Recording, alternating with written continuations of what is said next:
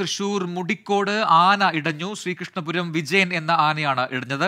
ഇടഞ്ഞ ആന ദേശീയപാതയുടെ ഓരത്ത് നിലയുറപ്പിച്ചിരിക്കുകയാണ്. ആനയെ തളയ്ക്കാനുള്ള ശ്രമങ്ങൾ തുടരുന്നു. ദൃശ്യങ്ങൾ പ്രേക്ഷകർക്ക് കാണാം. സുർജിത്ത് അയ്യപ്പത്ത് നൽകും കൂടുതൽ വിവരങ്ങൾ. സുർജിത്ത് ഈ ആനയെ തളയ്ക്കാനുള്ള ശ്രമങ്ങൾ നടക്കുന്നു എന്നറിയുന്നു. ആ ആരൊക്കെയുണ്ട് ഇപ്പോൾ അവിടെ? ജനങ്ങളെല്ലാം ആ ഭാഗത്തുനിന്ന് മാറ്റിയിട്ടുണ്ടോ? പ്രജിൻ മുടിക്കോട് എന്ന് പറയുന്ന ഈ പ്രദേശം വടക്കഞ്ചേരി മണ്ണുത്തി ദേശീയപാതയിലുള്ള പ്രദേശമാണ്.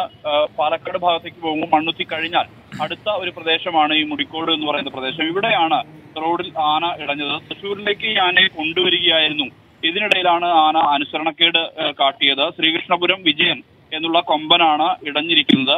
ഇടഞ്ഞ ആന ദേശീയപാതയോരത്ത് നിലയുറപ്പിച്ചിരിക്കുകയാണ്.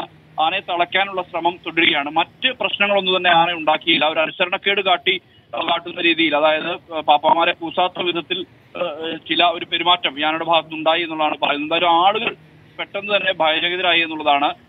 ഇതേ തുടർന്ന് ആളുകളെല്ലാം തന്നെ പോലീസ് എത്തി പൂർണമായും മാറ്റി. ഇതിനുശേഷമാണ് ഈ ആനയെ ക്യാപ്ചർ ബെൽറ്റ് ഉൾപ്പെടെ ഉപയോഗിച്ചുകൊണ്ട് തളയ്ക്കുകയാണ് ഉണ്ടായത്. എലിഫന്റ് സ്ക്വാഡ് സ്ഥലത്ത് എത്തിയിട്ടുണ്ട്.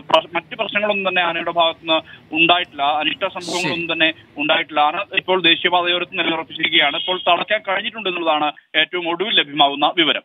ശരി. സുജിത് അയ്യപ്പത്താണ് വിവരങ്ങൾ നൽകിയത്.